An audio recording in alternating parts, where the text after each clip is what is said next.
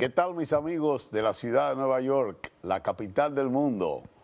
Con frío, bajo nieve, pero como siempre decimos, llueva, truene, vente o caiga nieve, aquí estaremos siempre para presentarles a ustedes punto de vista, que llega a ustedes gracias a MNN y que cuenta con la magistral dirección ejecutiva de Zenaida Méndez, la coproducción de Dulce Mateo, un servidor Carlos Cabrera, como siempre aquí para con ustedes tratar de pasar esta hora de manera informativa, de manera que podamos compartir nuestras inquietudes, nuestros problemas, que hablemos de las cosas que pasan en nuestros alrededores y que tienen que ver con cada uno de los grupos que componen esta gran ciudad de Nueva York.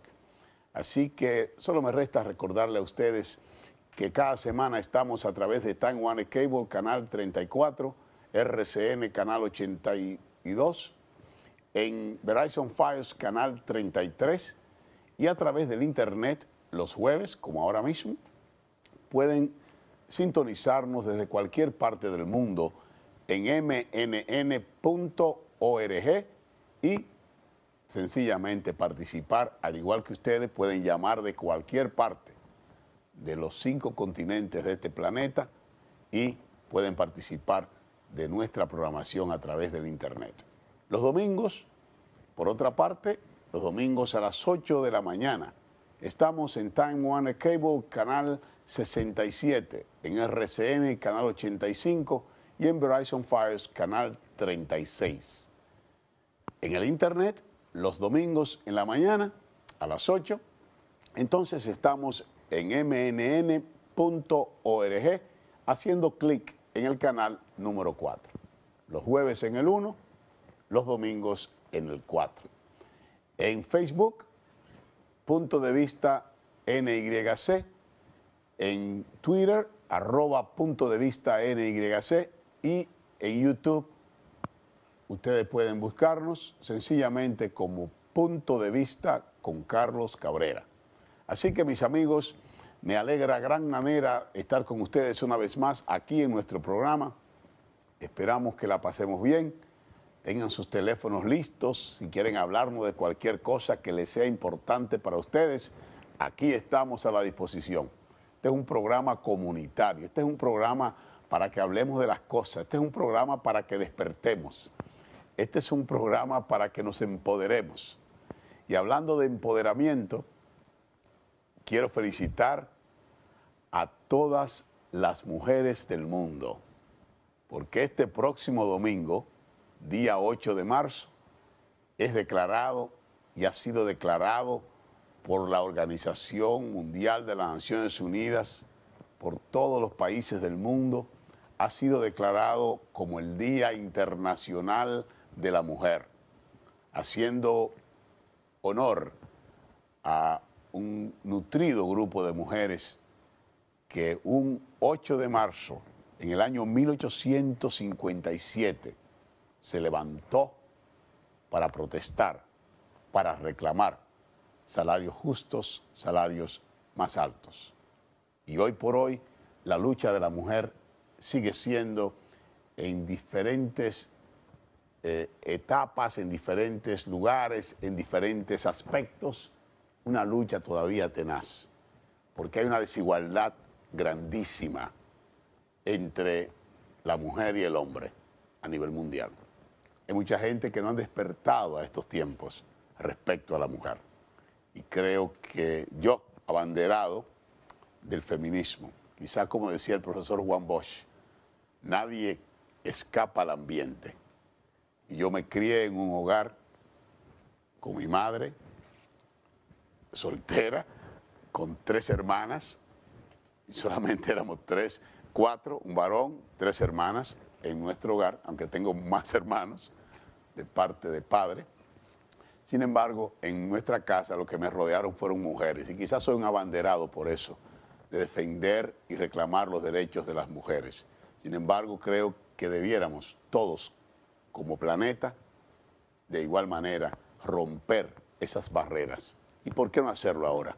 No solamente el 8 de marzo, que Día Internacional de la Mujer, sino que también el mes de marzo es dedicado a la mujer, es el mes de la mujer.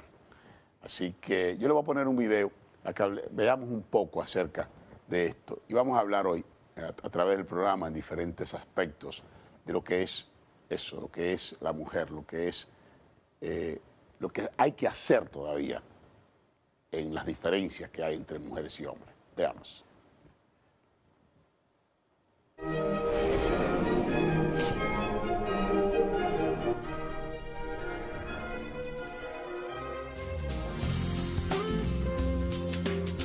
El 8 de marzo se celebra en República Dominicana y alrededor del mundo el Día Internacional de la Mujer. Reconocido por la Organización de las Naciones Unidas, ONU, el 8 de marzo se conmemora la lucha de la mujer por su participación en pie de igualdad con el hombre en la sociedad y en su desarrollo íntegro como persona.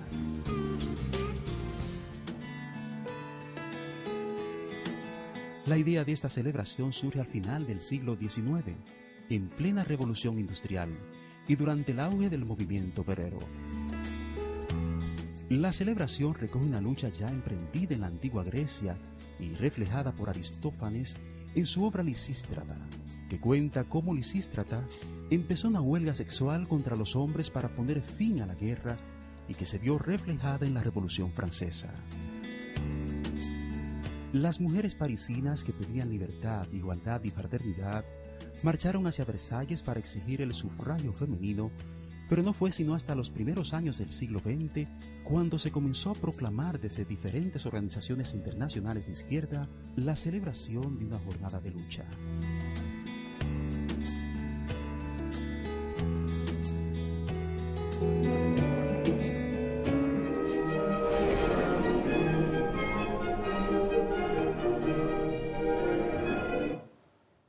Mis amigos, como hemos visto en ese, pequeño video de entrada, eh, sencillamente eh, las Naciones Unidas decidieron reconocer el 8 de marzo como Día Internacional de la Mujer.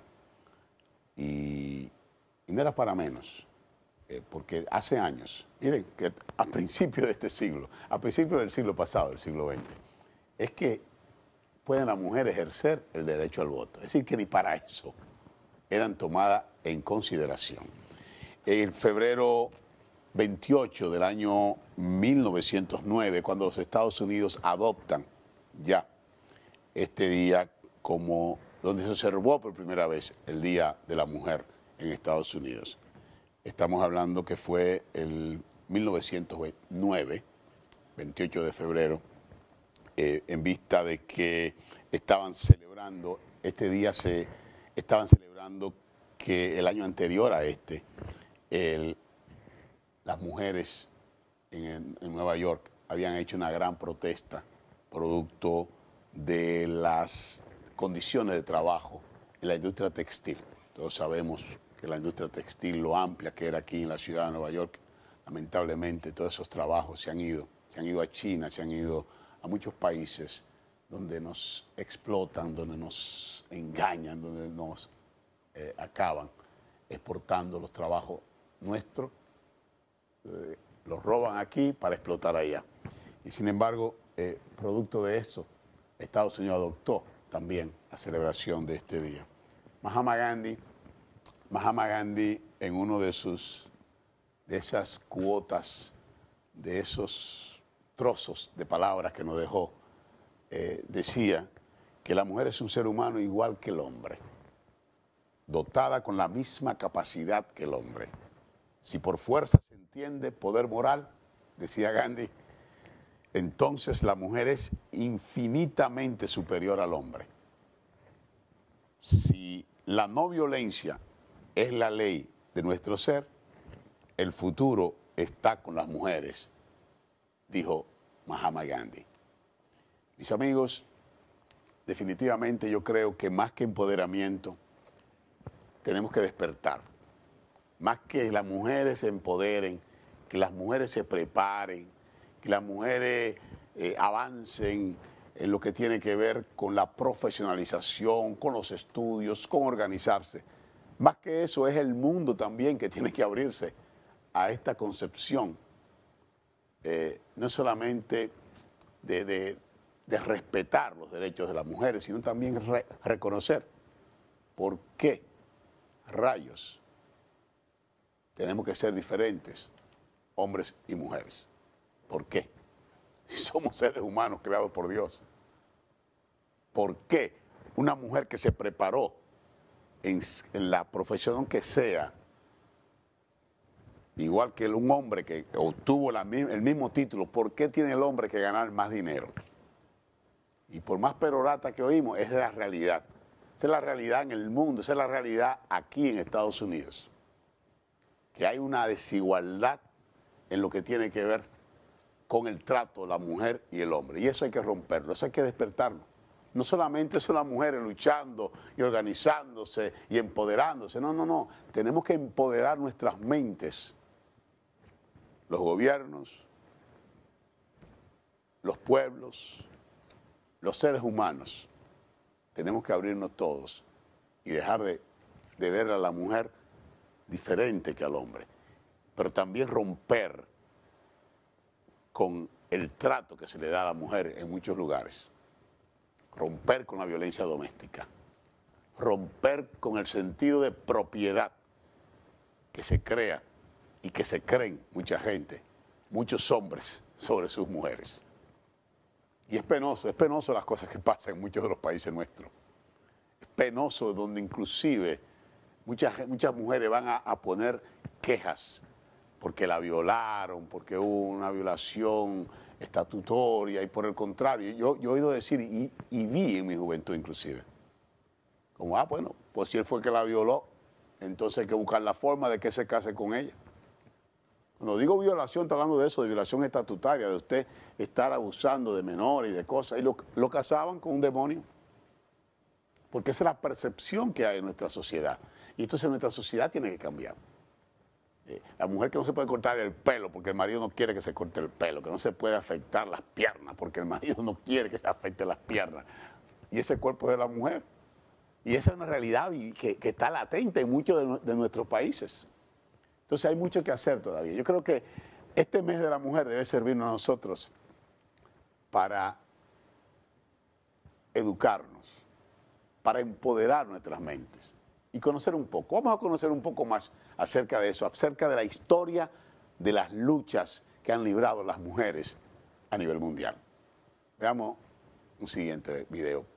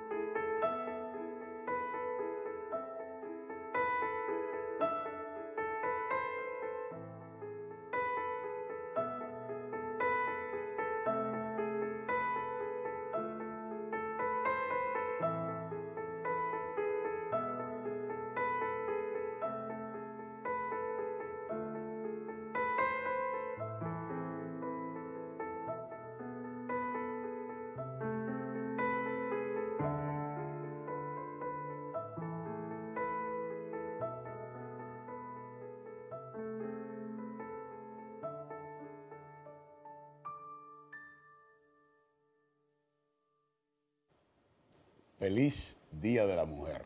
Feliz Día de la Mujer a todas esas mujeres que nos ven, a todas esas mujeres que nos siguen, a todas esas mujeres que nos rodean. Felicidades a la productora ejecutiva de este programa, eh, Zenaida Méndez, a, mi esposa Dulce Mateo, que es la, coproductora del programa. Como ustedes ven, yo, me siento cómodo siendo dirigido por, mujeres. Me dirigen dos mujeres aquí y en mi otro trabajo sindical me dirige también una mujer. Así que eh, estamos avanzando. Creo que es loable esto, que dediquemos, que nos incorporemos, señores, a ser parte del proceso de empoderamiento, de libertad, de eh, no solamente eso, sino de conciencia a nivel mundial, de que hombres y mujeres somos sencillamente seres humanos, seres humanos, con diferente sexo, con diferente parte de lo que nos toca hacer en esta sociedad, diferentes roles que tenemos. Así que felicidades a todas las mujeres y vamos durante todo este mes a tener una programación dedicada, eh, enfocada en la mujer, porque eso va a estar haciendo el mundo entero en este mes de la mujer. Mis amigos, yo quiero hablar de otra cosa que tenemos que arrancar. Así como el machismo, hay que arrancarlo. Así como la, desigualdad entre hombres y mujeres, hay que arrancarlo. Yo voy a hablar, eh, en breves minutos, voy a hablar de eso, de la corrupción, de la corrupción aquí, porque ya cayó otro, otro de los políticos nuestros de aquí, de Nueva York, que le cantaron el día de ayer 10 años de cárcel. Eh, yo siempre he dicho a los políticos, a los corruptos, hay que darle fuego de donde sea que venga, porque cuando dándole fuego que vamos a poder combatir la corrupción que se siga eh, eh, ocurriendo los crímenes que significa la corrupción, que la corrupción se lleva el dinero de los pobres, se lleva el dinero de los trabajos, se lleva el dinero de, la, de la salud, se lleva el dinero de la educación. Donde quiera que sea, la corrupción hay que combatirla. Pero antes de la corrupción, yo quiero eh, hacerme eco ante ustedes de un gesto muy bonito que pasó en la República Oriental del Uruguay el domingo pasado. El día primero ya terminó los cinco años de gobierno de José Pepe Mujica. Pepe Mujica, durante estos cinco años, un ex dirigente sindical, un ex guerrillero que dejó la guerrilla para entrarse a participar en la política y llegó a la, presidencia de Uruguay y lo hizo con dignidad. Y así como entró Pepe Mujica, José Pepe Mujica, como entró salió, con dignidad, con respeto, con honestidad, con humanidad, con transparencia en la manera de gobernar. José Pepe Mujica sencillamente le dio clase al mundo del arte de gobernar. Pero más que todo, con el mismo cepillito Volkswagen que entró a la presidencia José Pepe Mujica, con ese cepillito se fue. Y la mayor parte de su salario lo donaba, lo donaba a los, necesidades, a, los necesitados. Y se iba, y se iba a un hospital y hacía su fila igual que todos los pacientes en ese hospital, porque decían que yo sea el presidente, eso no me está dando a mí derecho a yo estar por arriba de mis otros compañeros de patria, compatriotas. Y, el, día primero entregó la banda presidencial a Tabaré Vázquez, que ahora es el nuevo presidente por segunda vez del Uruguay, y ya el martes se juramentó, porque en la ley de Uruguay los presidentes se convierten en senadores vitalicios. Fue y se juramentó en el Senado y se quedó sentado en el escritorio ahora para trabajarle a la patria desde un curul en el Senado del Uruguay. Y no solamente dio ejemplo, dio ejemplo al Uruguay, sino también que dio ejemplo de gobernar al mundo entero. Dio ejemplo a, la, a la colección de corruptos del mundo. Porque por la mente de Pepe Mojica ni siquiera asomó el fantasma de la reelección que tanto daño hace en este mundo, que tanto daño ha hecho. Sin embargo, mis amigos, eh, no quería yo que se me fuera la oportunidad, porque eso, eso es un ejemplo. Eso es para que vean que no todo está perdido. Y se fue allí y dijo él, y el que crea que me va a retirar, está equivocado, porque yo voy a seguir trabajando, porque la gente necesita que yo trabaje. Y con una popularidad altísima, una popularidad altísima, no solamente en Uruguay, sino también una popularidad a nivel mundial. Pero un hombre sencillo, un hombre con los pies en la tierra, un hombre de carne y hueso. Hubo por ahí una, una organización internacional que le ofreció muchísimo dinero para comprarle el cepillito azul. ¿Sabe lo que dijo? ¿Cómo voy a vender este cepillito si me lo regalaron mis amigos? Yo no tenía nada. Hicieron una colecta para regalarme este carro. ¿Con qué le salgo yo a mis amigos? Diciéndole que yo le vendí a un, coleccionista el cepillito Volkswagen que ellos me regalaron. Así que gracias Pepe Mojica por enseñarle a este mundo que se puede estar en política y se puede ser honesto. Mis amigos, eh, respecto a la corrupción que yo estaba hablando ya en el otro lado, en el día de ayer, en el día de ayer fue condenado, a que ustedes vean que la corrupción no tiene bandera. El día pasado, eh, hace eh, alrededor de un mes, ¿verdad?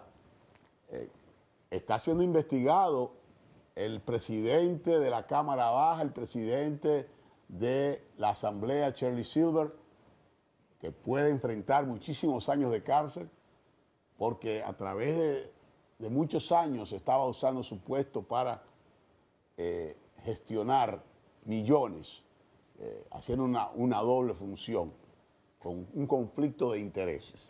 Sin embargo, déjenme decirle a ustedes que ahora es un republicano el republicano de aquí del Consejo Municipal, eh, ex concejal, eh, Dan Halloran, y estoy más haciendo hincapié de esto porque ya habíamos hablado de esto.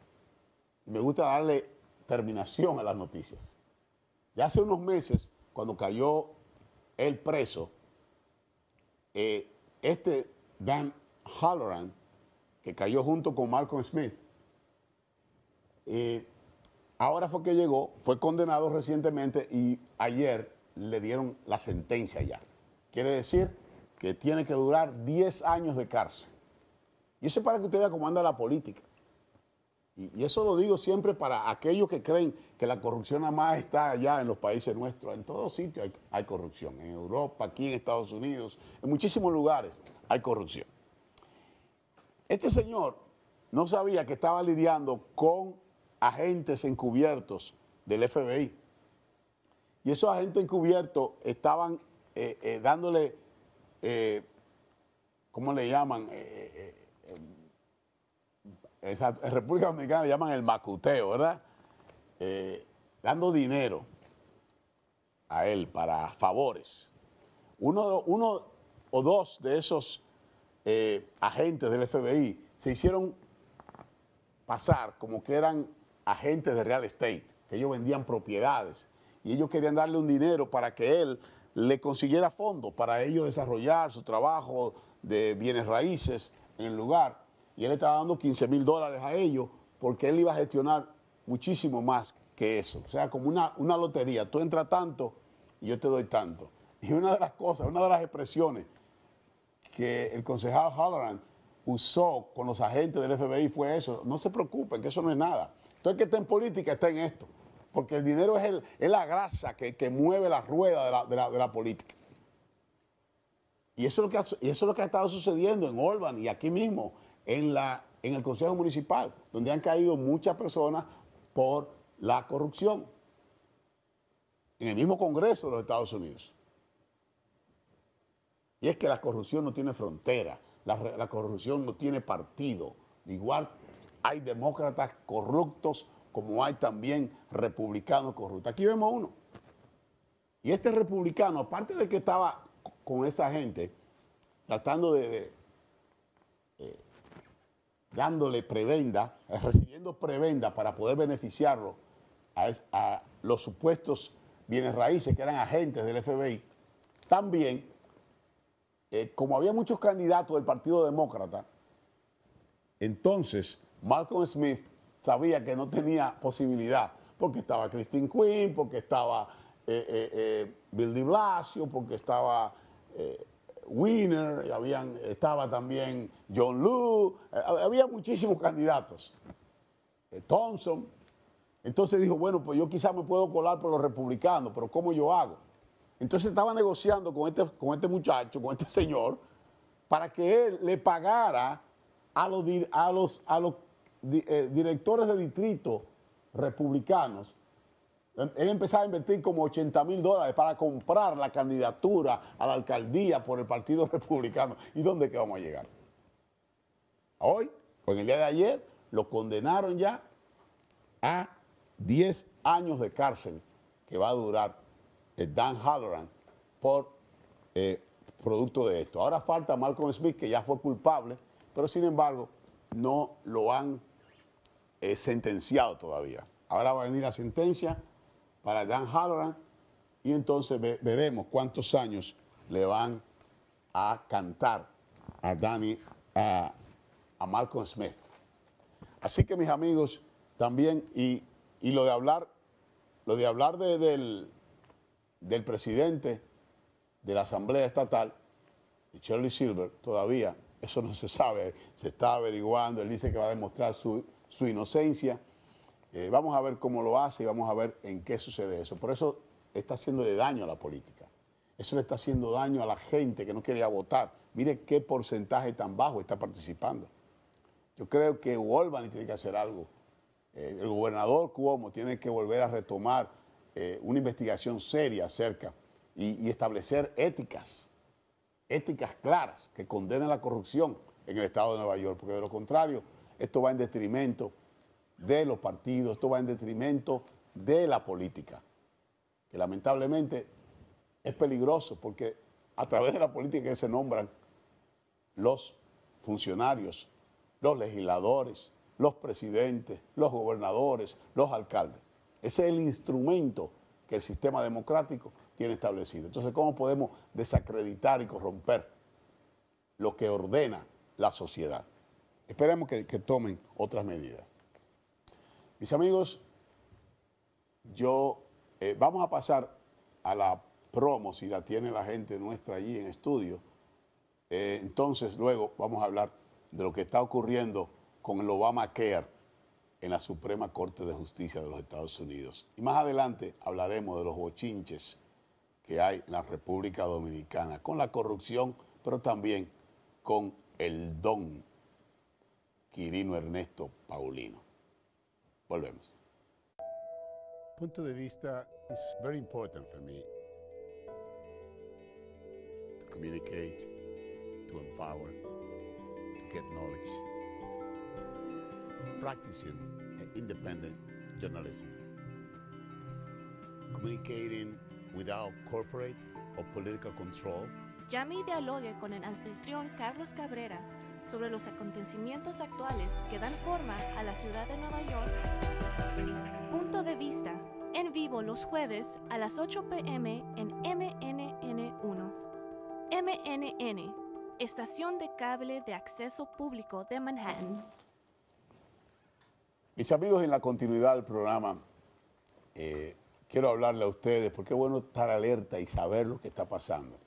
Después que fue aprobado en el Congreso el Obamacare, después que entró en efecto ya el año pasado, hay muchas personas, está hablando de millones, millones de personas que no tenían seguro, que no tenían posibilidad de tener seguro y que a través de subsidios que están ofreciendo los estados, esta gente, estos millones de personas están hoy por hoy siendo atendidos, siendo, recibiendo chequeo ellos y sus familiares.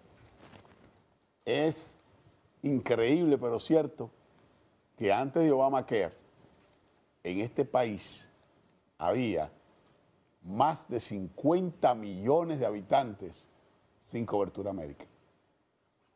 Más de 50 millones de habitantes sin cobertura médica.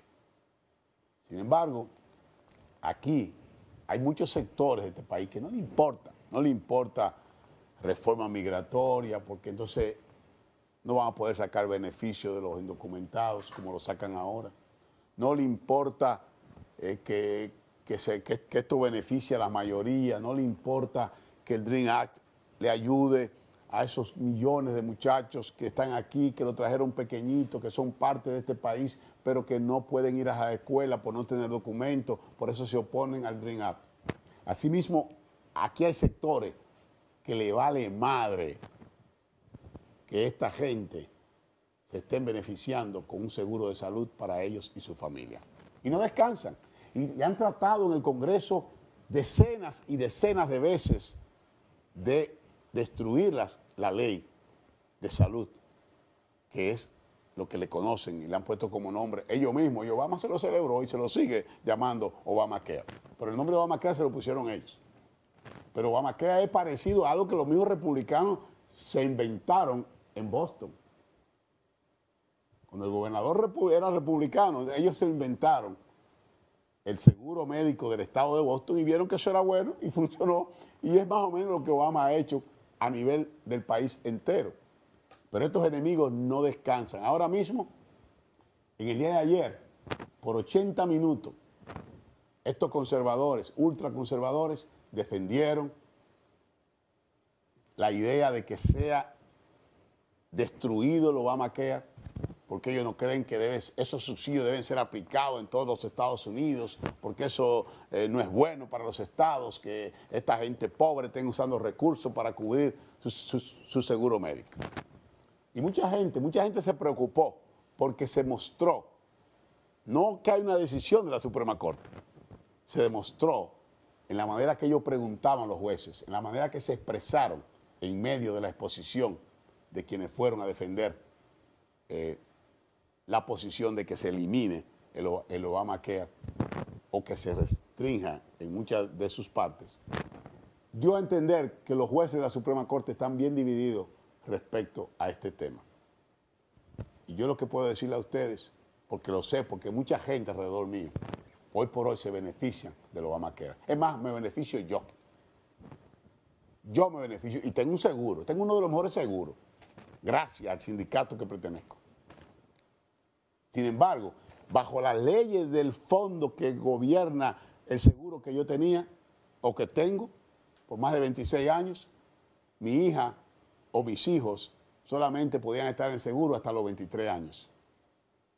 Demostrar, después de los 18 que están en la universidad full time, a tiempo completo en la universidad, para poder estar en mi seguro. Y así son la mayoría de los seguros.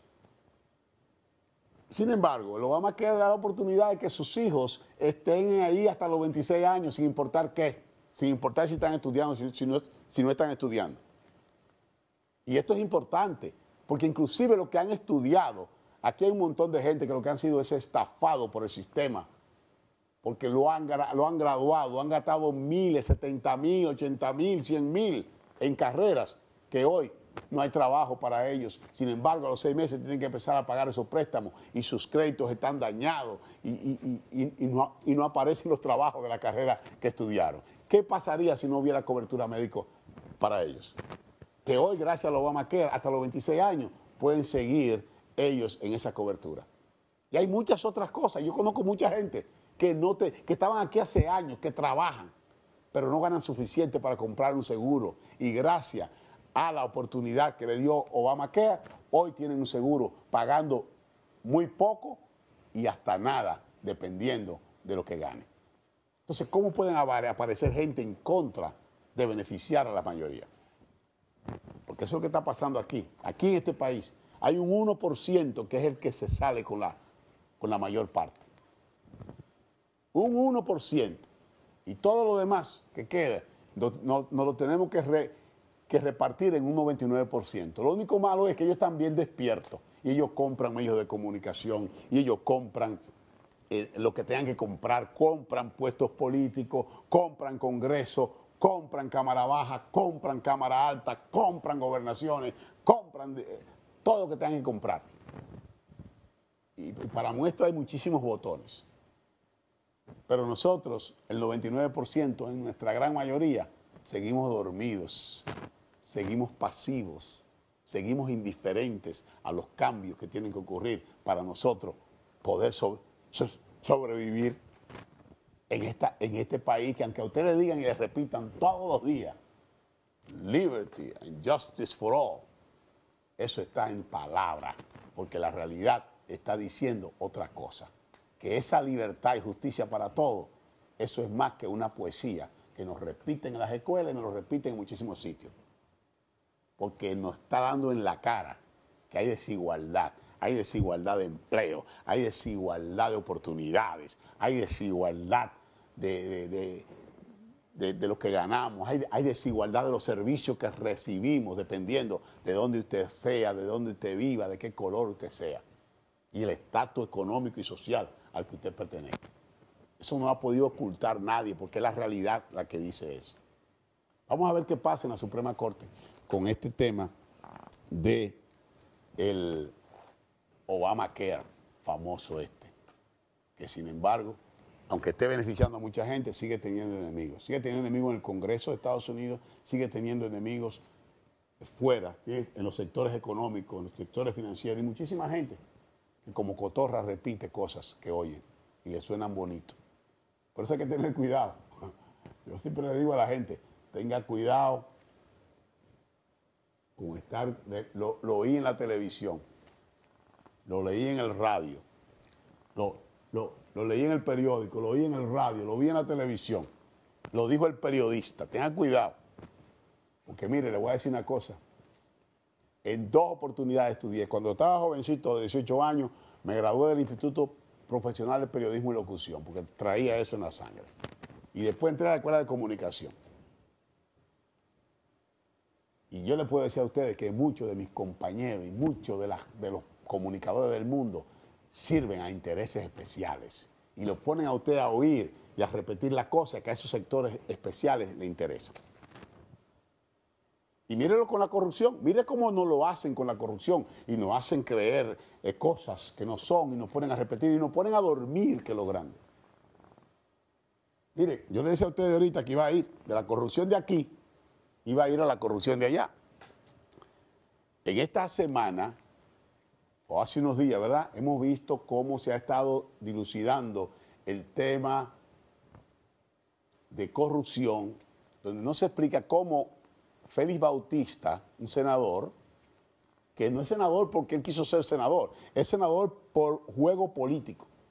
Porque el que estaba en el puesto de él también, antes, porque esto es un asunto endémico, el que estaba, que era el, encargado de, ingenieros, el, encargado de supervisión de obra del Estado, Hernán Salazar, cuando Hipólito Mejía, porque ese es un, departamento que maneja muchos millones, porque es el que asigna las obras, las carreteras, los trenes, todas las obras que se hacen. Y ahí hay muchas manipulaciones. Y, antes de, Hipólito irse, a Hernán Salazar hubo que buscarle en San Francisco Macorís que renunciara el senador para que entonces le pusieran el puesto a Hernán Salazar porque tenía que tener inmunidad para protegerse. Y así mismo hicieron con Félix Bautista, que fue encargado de obra del Estado en el primer gobierno de Leonel Fernández, en el segundo Leonel Fernández, y en el tercero Leonel Fernández dijo, bueno, vamos a ubicarnos, ya vamos a ponerte como, como senador.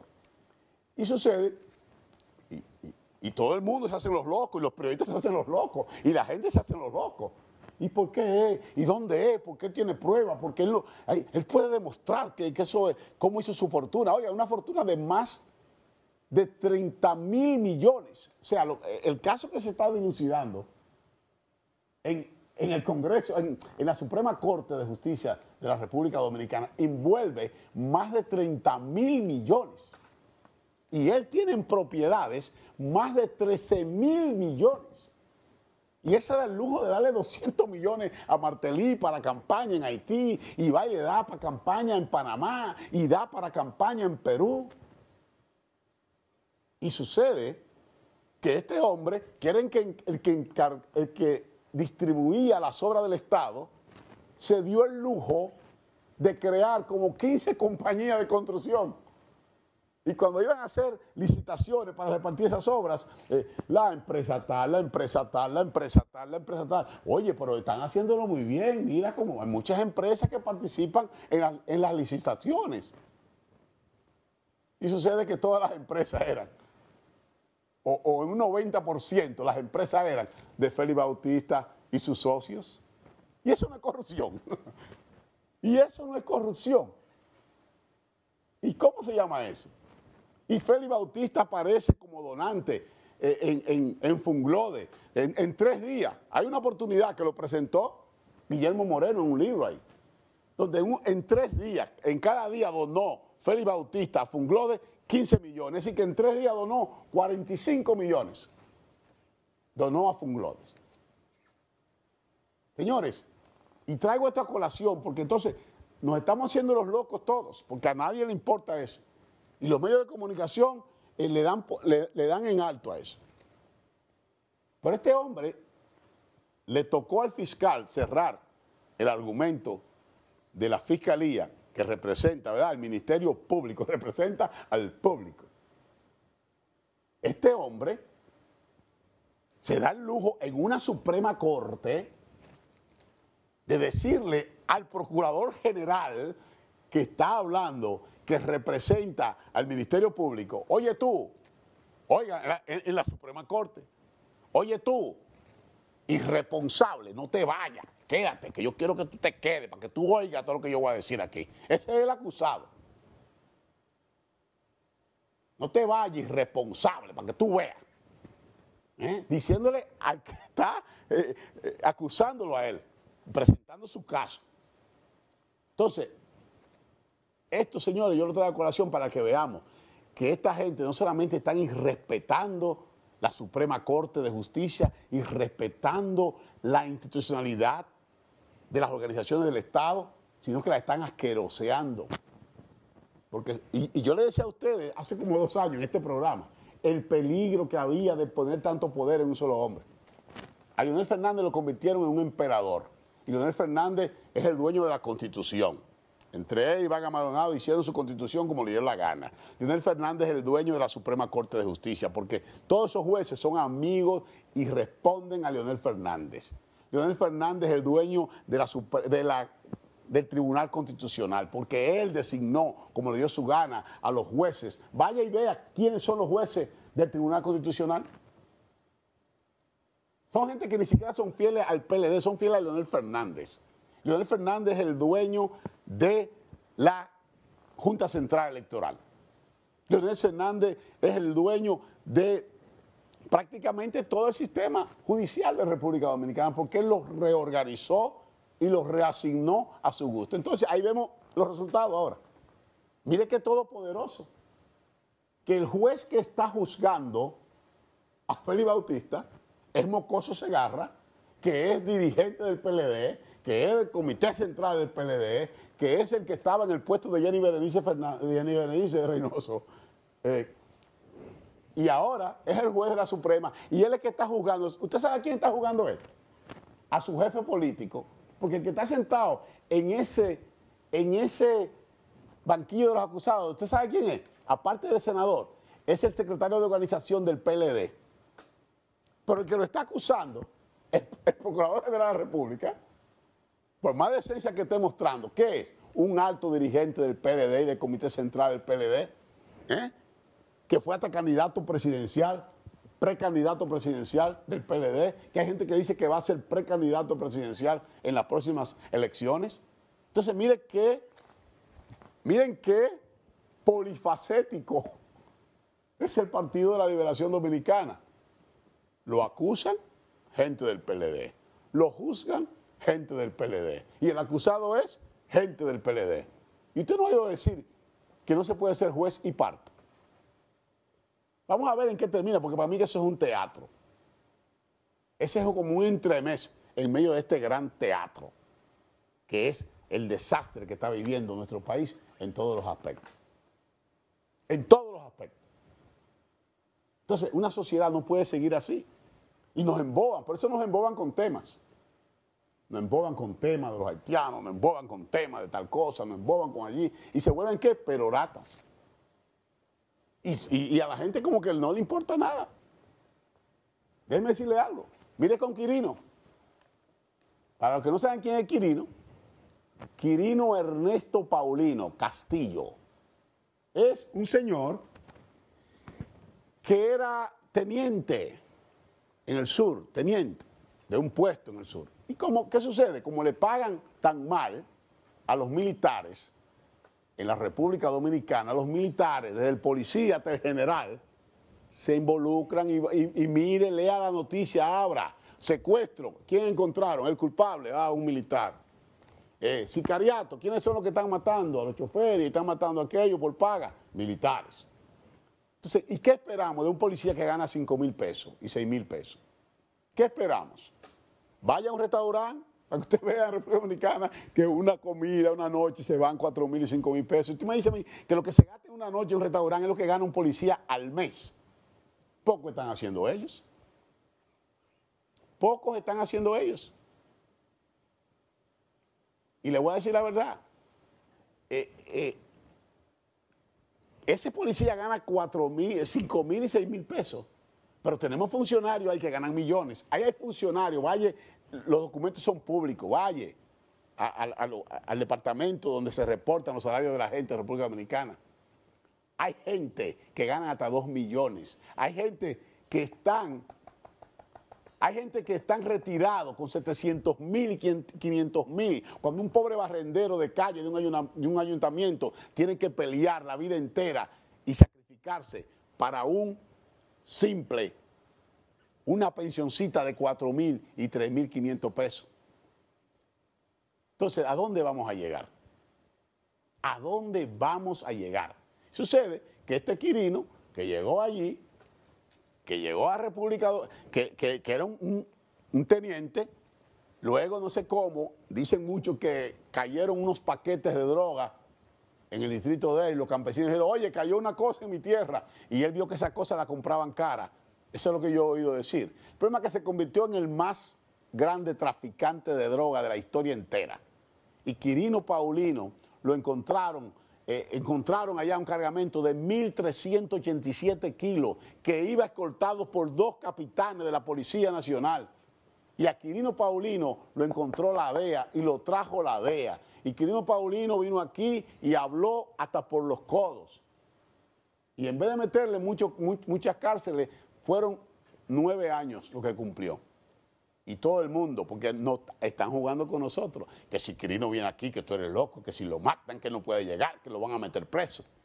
Ahora, Quirino se apareció, Quirino le tumbó el show al discurso del presidente porque se apareció al día después del discurso del presidente sin ton ni son, un pobre infeliz policía que lo acompañó hasta la puerta del carro, lo vieron en la... Ah, pues tú estabas escoltando a Quirino, era votado.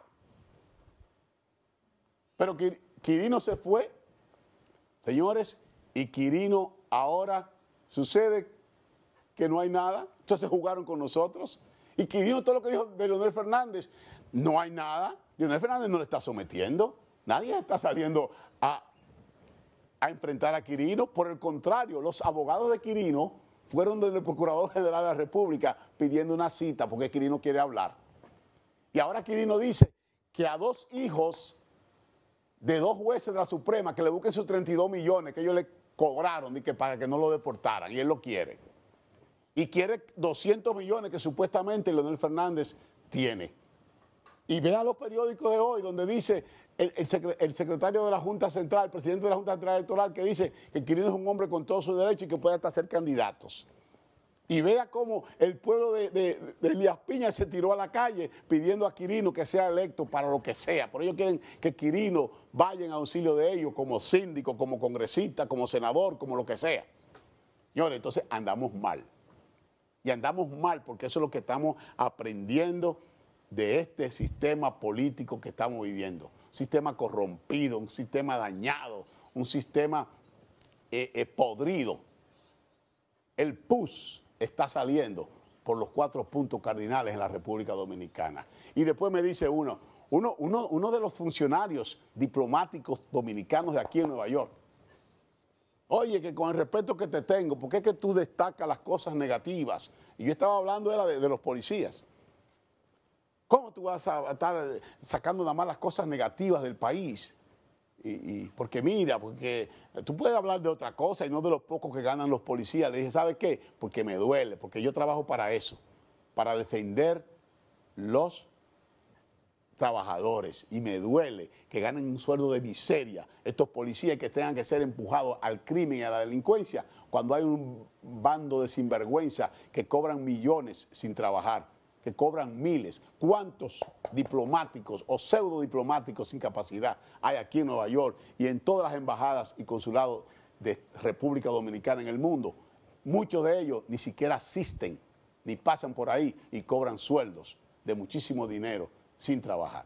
Entonces eso es lo que duele, eso es lo que da vergüenza, eso es lo que tiene nuestra sociedad corrompida y dañada.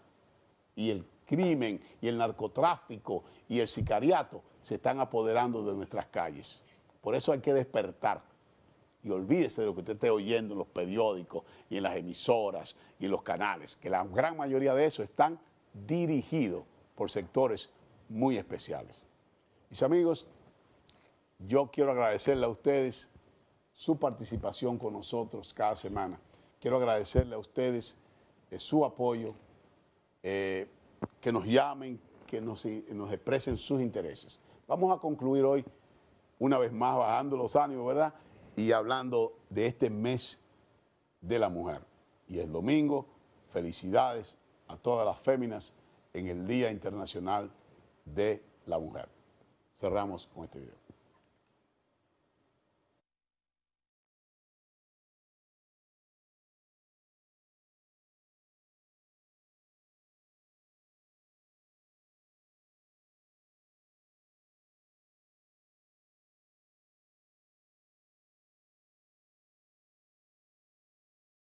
You are beautiful. You are smart. You are funny. You are kind. You are unique. You are worthy of love and affection. You are never too much, and you are always enough. You are precious. You are a diamond, a rose, a pearl, the most stunning of all God's creation. You are worth more than you could ever imagine. Worth more than the numbers on the scale, or the hair product you use, or the shoes you wear more than how many girls wish they were you, or how many guys wish they had you, more than the price tags on your clothes, or the percentage at the top of your math test, or even the number of followers you have on Twitter. Your worth surpasses all earthly things because, in the eyes of the Lord God, you are loved and you are worth dying. Regardless of who you think you are whether you model in a magazine or you model pottery with grandma, whether you're on the hot list or the not list, whether you're head cheerleader or a high school dropout, whether you're Miss Popular or you've never had anyone you could call a friend, whether you love yourself and love your life or you can't stand to look in the mirror and you feel as if everything in your life is falling apart, whether you're such a winner or you feel like the world's biggest failure, regardless of who you think you are, the reality is, is that you deserve someone who would give up their life for you because you are powerful and strong and capable. Read about the women in the Bible Esther, Ruth, Martha, Mary. These women changed the world forever. And inside of you, each and every one of you is a woman with that same power and that same strength and that same world changing capability. And your responsibility is to find that woman and to set that woman free. This is who you are. And any voices in your mind that try and tell you differently are from the enemy. And the next time you hear them, this is what you say. You say, Nuh-uh, not me, Satan. I am a daughter of the living God cherished, loved, and adored above all things by the Creator of all things for the glory of Him who is greater than all things. I am awesome. And please, Don't you forget it.